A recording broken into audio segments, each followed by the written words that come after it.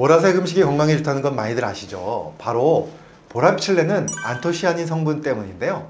대표적인 항산화 성분으로 몸속 염증을 줄여주고요. 또 노화 방지는 물론 눈 건강이나 신장 건강에도 도움이 된다고 알려져 있죠. 제 주변에서도 블루베리, 가지, 비트, 자색 양파 등을 챙겨 드시는 분들이 굉장히 많으신데요. 오늘은 제가 어떤 분들이 안토시아닌을 꼭 챙겨 드셔야 하는지 그리고 안토시아닌을 섭취하기 위한 최적의 방법은 무엇인지 또 저는 어떤 식품을 먹고 있는지까지 보여드리려고 합니다. 궁금하시면 오늘 영상 끝까지 봐주시고요. 좋아요, 구독, 알림 설정 해주시면 정말 감사하겠습니다. 고마우신 구독자님들 오늘도 클릭해 주셔서 정말 감사합니다. 안토시아닌 이제는 많이 익숙하시죠?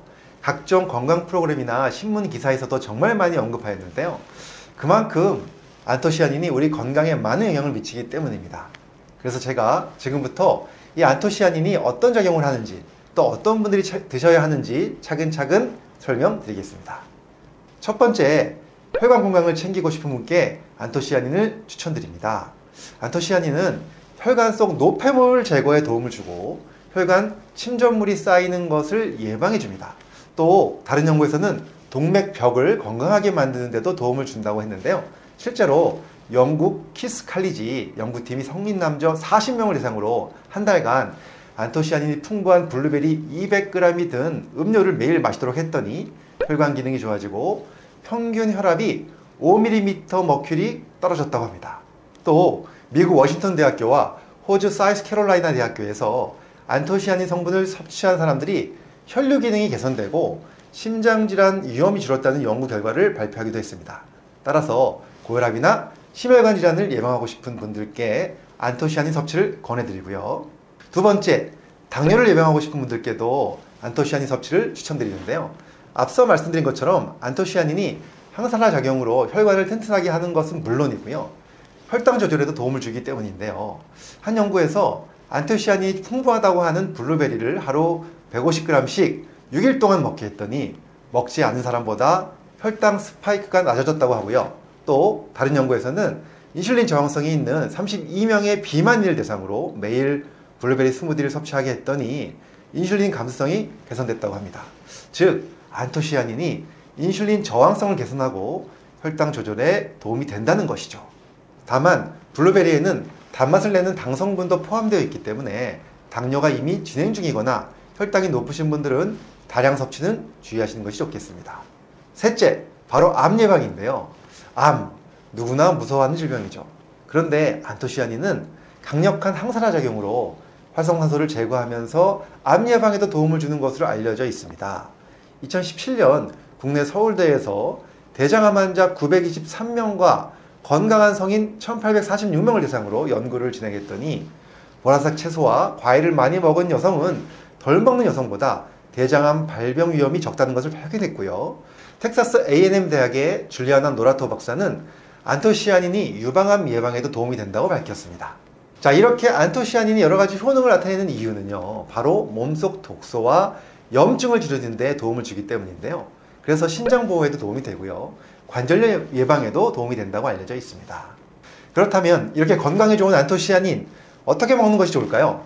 제가 최근에 관심을 갖게 된 것 바로 자색 당근인데요. 자색 당근 굉장히 생소하시죠? 저도 이 자색 당근을 알게 된 건 오래되지 않았습니다. 원래 당근은 주황색이 아니라 이렇게 자색 당근이었다고 합니다. 그런데 네덜란드에서 자색 당근을 좀 더 단맛을 나게 개량하면서 주황색 당근이 됐다는 거죠. 그런데 최근 안토시아닌 성분의 중요성이 부과되면서 다시 자색 당근이 인기를 얻고 있다고 하는데요. 실제로 이 자색 당근에 안토시아닌이 얼마나 풍부하냐면요.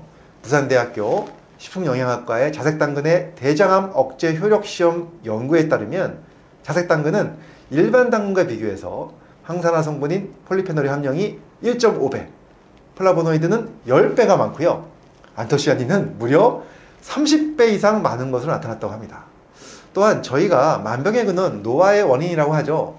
활성산소를 제거하는 능력을 알아보는 연구도 진행했는데요.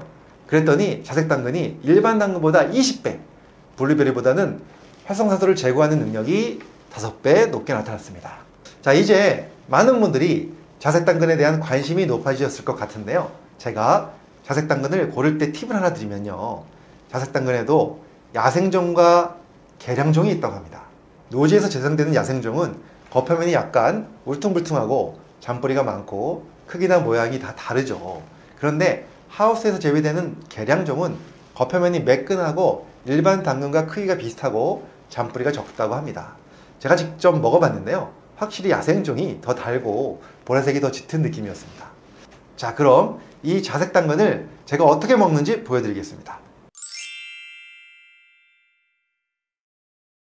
이것이 야생종 자색 당근인데요. 저는 이것을 사과와 함께 갈아서 먹고 있습니다. 사과의 새콤달콤한 맛이 당근과 어우러져 맛이 훨씬 좋기 때문인데요.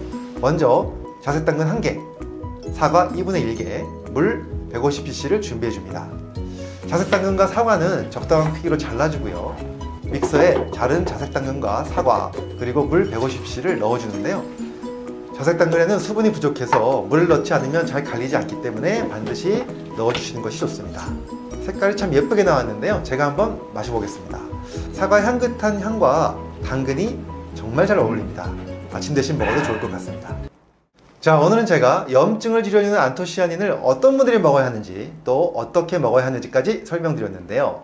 건강은 좋은 영양소 섭취와 함께 적당한 운동도 병행되어야 챙길 수 있다는 점 꼭 기억하시고요.